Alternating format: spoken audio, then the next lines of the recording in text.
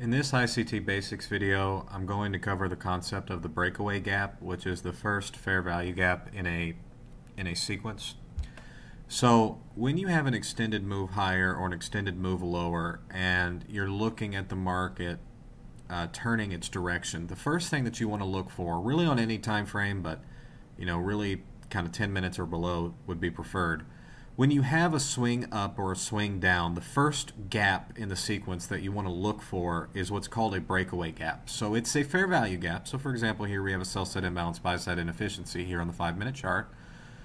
Um, but it, it does not get traded back into, meaning that it breaks away from a higher time frame level. So it could break away from a higher time frame inefficiency or liquidity, but you know ideally a higher time frame inefficiency level. Um, and you'll know it's a breakaway gap because it, it moves away from the, the, the market price moves away from that gap very quickly and it and it does not trade back into it. And if it does trade back into it, it might trade back into it by a couple of ticks, but it needs to leave a portion of it open. That is a breakaway gap, and it's the first gap in a sequence, and it's the very first good sign, right? It's a good sign that the market is switching directions, okay? Um, you don't necessarily need a breakaway gap in order for the market to make a decent move in the in the other direction, but it's something that if you see it and you're like, "Oh, that's a breakaway gap," that's for sure. You know, it looks like the market has has changed directions. Um, if you see it, then you then you know that's a very good sign.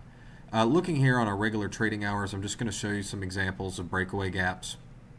There's an example of a breakaway gap here on a three minute chart. We see that that came in the PM session. Um, you even saw it on the way up. So really, even though it's a bigger gap, that's a breakaway gap right there because we have a swing higher. You know, we went from 984 evens all the way up to uh, 15,087 even. That's a good. That's a good like 100 point move. So we have a gap here that price did not trade back into until it came back down. That's a breakaway gap. These are typically small. They're not typically like visually very large, uh, but they can be. But I, ideally, they're they're usually pretty small.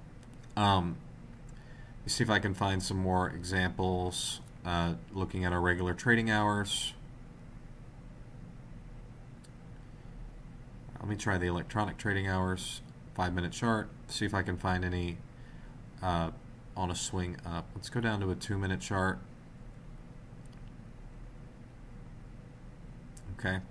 Just going to circle some examples of breakaway gaps. There's a breakaway gap on the way higher. Um, that's a little bit of a breakaway gap because price does trade higher without trading back into it, but I wouldn't call that a great breakaway gap. Um, let's see if we have any. Yeah, okay. So there's there's another good example of a breakaway gap right there. Circling that one. Um, on the way down, we have a breakaway gap here. Okay, so you're not going to have breakaway gaps on literally every sequence, higher or lower. They're not mandatory, but they're a great sign that the market is changing directions because the market is not bothering to come back immediately and fill in an inefficiency. So, for example, here, breakaway gap.